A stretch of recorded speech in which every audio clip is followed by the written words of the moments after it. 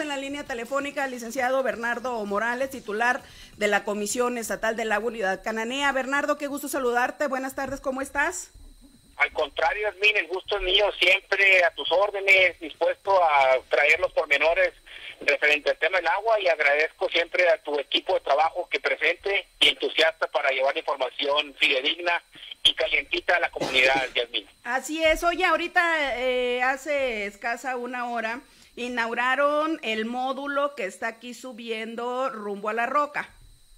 Es correcto el módulo de Campestre Oriente, pues muy contento, la verdad, Yasmin, por ir creciendo en, buenos términos en la Comisión Estatal del Agua, pues nos hemos preocupado por dar un mejor servicio tanto en el tema del agua, en la infraestructura, pero también en nuestros módulos de percepción, de bueno, recepción de, de cuentas, ¿no? En este caso de los usuarios, y pues nos aventuramos a que la SEA tuviera ya sus propios módulos. Y en este caso pues ya fíjate una gran ventaja de que no vamos a pagar renta no estamos pagando renta es nuestro es módulo propio y a la, altura de las necesidades de esta colonia campestre y todas las alrededores la gran ventaja que tenemos, Yasmin, es que es un módulo propio, al cual quiero agradecer también al presidente municipal, a los regidores que nos han entregado en comodato ese terreno y sobre todo pues que es en beneficio de la comunidad, eh, Yasmin. Oye, qué maravilla, qué maravilla. La verdad, eh, lo veo con muy buenos ojos. A mí me queda aquí a tres calles, digamos, está eh, en corto para todo este sector y pues también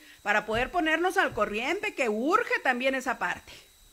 Yo creo que sí es una sinergia de tanto autoridad como de, las autoridades, de la sociedad y de nosotros responsables, pues tener todos los medios al alcance, pero también como ciudadanos, que es la invitación que les hacemos, que se acerquen a nuestras oficinas, a nuestros módulos, para llegar a una solución favorable en todos los términos. Primero, pues los que no están regularizados, para regularizarlos.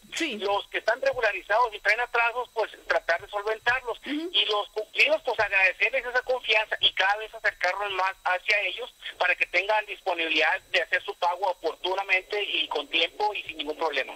Excelente, muy bien. Pues algo que ese es agregar, eh, Bernardo. Yasmin, decirte que seguimos trabajando puntualmente y en el trazo que nos dieron en instrucción del plan de justicia para Cananea, donde se ha visto mucho movimiento ya, de hecho, en las oficinas eh, fue el motivo porque abrimos el módulo antes de lo de lo que teníamos planeado, porque enfrente de la, de la CEA levantando el pavimento, les va a meter tubería nueva, aprovechando que ya están en, el cambio de, la Casa de la Cultura a la plaza. Entonces va a haber molestias por parte de los usuarios, es por eso que les, damos, les estamos dando esta alternativa. Recuerden que viene el cambio para Cananea, todos los cambios son buenos, pero también recordarles y reforzar esta situación de que tengan cómo almacenar agua porque los días que falte agua, pues podremos mandar la pipa, podemos ver la forma de surtirles agua, pero sí queremos que el ciudadano tome precaución y cuidado causarle las menos molestias posibles, Yasmin.